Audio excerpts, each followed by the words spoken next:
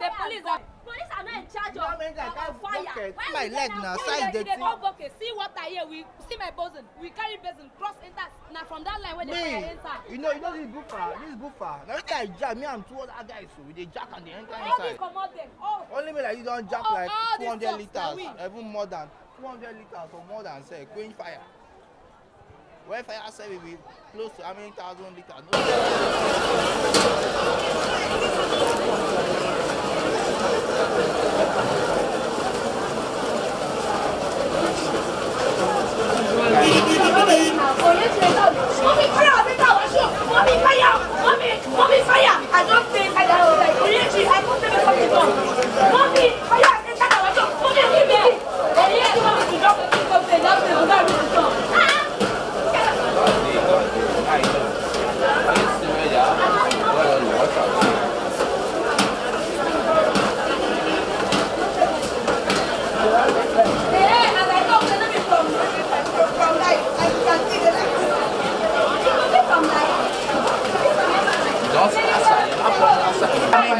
litres hundred litres to like uh, athletics from here to outside a small one don burn close to like hundred metres square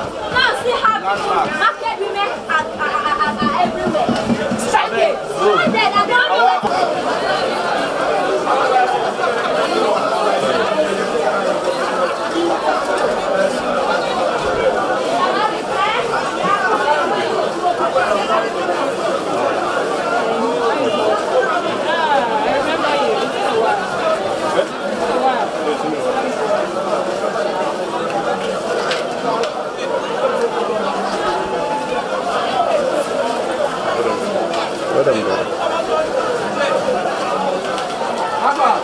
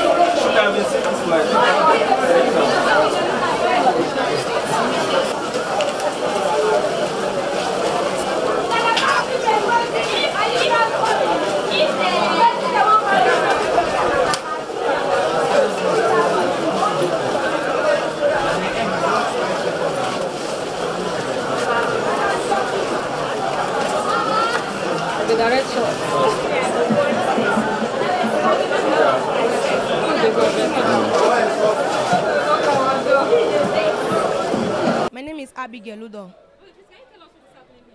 All right, we're just at the house, barely some minutes past seven, I think 15 minutes past seven, when we noticed smoke coming out from the market side. So people were making noise, fire, fire. That was when we now rushed out, and to our greatest surprise, it was fire outbreak. The fire was low. People tried calling fire service number, they make calls. We tried fetching water from the nearby water pool to help quench the fire. Like me, I brought out my omo from the house. All my neighbors here, we entered inside the market and tried to help rescue people's stocks. So, um, can you tell us what really caused the fire? I don't know. Maybe we don't because the light is normal. You can see we are still having light, so it's not from from light or the fire just busted out like that. No, no news. We're inside the house.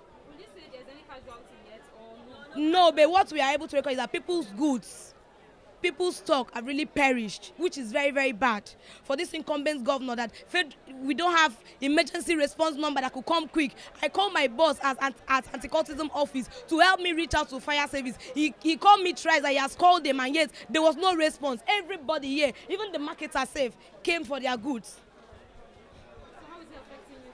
The smoke the smoke that came out here is not good for our health. It's very bad for and some of us we are not from cross river that will have aunties and uncles to go and sleep with. So we might not possibly sleep here. That's why we are calling on them to come to our aid. At least with them coming fire service coming they can quench off the fire which will reduce the smoke from affecting us. It's not good for health. It's hazardous to our health.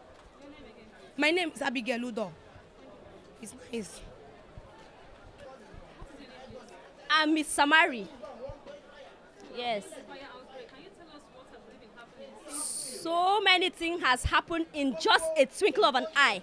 You know, the fire broke out and there was no rescue, and so many so many people were not around. They were putting call across for them to come take their shops and then know how to maybe bring out their uh, goods from the shops. They could not come, so hoodlums broke into the shops, bring out, uh, brought out some um, uh, goods, and then some are taking them away.